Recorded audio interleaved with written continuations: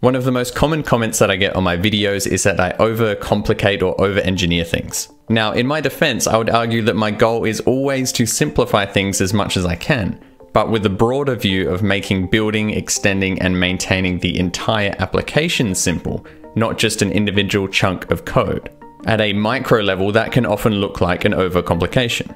Anyway, I thought what better way to combat this reputation of over-engineering than by doing a video about replacing services as injectable classes with functions created by injection tokens. Now that we can use the inject function, we no longer need a class in order to facilitate dependency injection. So we can actually create our services entirely as functions. This is an example created by Chau Tran to refactor the chat application from my Angular Start course to do just that.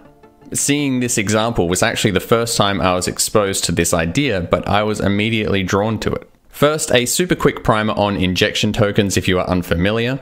In Angular, we inject tokens all the time, typically type tokens like this. But we can also create custom injection tokens like this so that we can supply whatever type of value we want, like a string, an object, or a function, and make it available via the dependency injection system. You can see I'm doing that here to automatically configure Firebase to use emulators or not depending on whether we are in the dev or prod environment.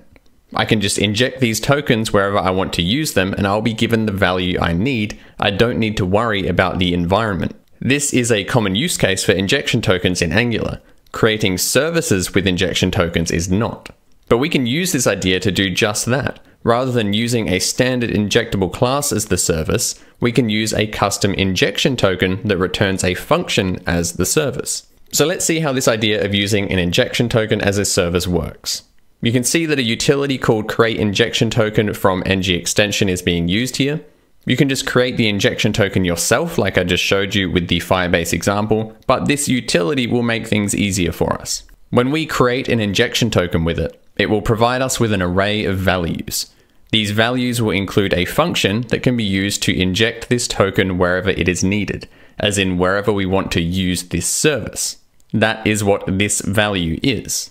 Then inside of this function we are supplying to the injection token, we mostly just do what we would do in a normal service, except rather than using a class, we are using a function. The big difference here, and what is one of the key benefits, is how we expose the public API of this service. What is returned from this function is what will be consumable to whatever injects this service. That means that everything in this service is essentially private by default. Only the things we explicitly return from this function can be used. Then to use the public API of this service, we can use the inject auth service function that is being exported. You can see that being used in this login service. Now you might be wondering how we go about controlling where this service is provided. With a standard injectable class, we have the provided in property, which we often use to provide a service to the root injector, or we might leave it empty and provide it directly to a component like this. With create injection token, by default, the service will be provided in root, so you do not need to configure anything at all. However, if you don't want it provided in root, you can set this is root option to false. You can also see for this service that we are exporting an additional function returned from create injection token. As well as the function to inject this service, we are also given a function to provide it.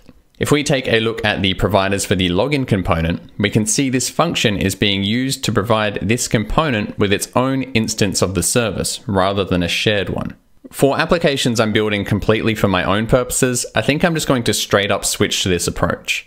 The only reason I wouldn't adopt it generally just yet is that people aren't familiar with it. It's nicer, at least in my opinion, but it's not a drop everything and switch to it immediately level of nicer. But I do hope that the community does move towards patterns like this, and I'm glad that people like Chau are helping to innovate and push these ideas forward. And all of Chau's videos are absolute gold, so make sure to go subscribe to his channel, and hopefully we can all encourage him to make some more. Just wait until you hear his ideas about using inputs as outputs.